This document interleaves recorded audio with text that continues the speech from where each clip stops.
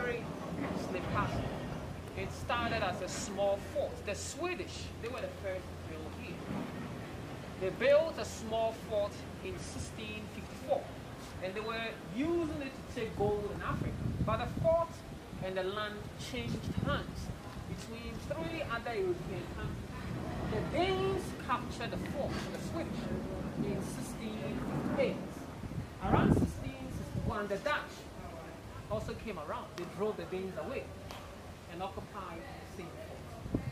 The Dutch were also here for just four years. 1665, the British attacked the Dutch here, defeated them. And the British were the ones who then developed the fort. It's what we see here, the Snake Castle. Everything here. The main concept over here wasn't meant for slavery, into goods. All the rooms on the ground floor these are storerooms. Later, the Portuguese changed the idea to human trade. The storerooms to be converted to dungeons where captives were kept. Yeah, I know slaves. This castle is talking about 1,000 captives at the time, about 600 men and about 400 women. At times, the number could be more. 1637, the Dutch took over the castle. They fought the Portuguese with the support of the locals. Then in 1872, the castle was no more important to the Dutch. They. Therefore, the Dutch swapped.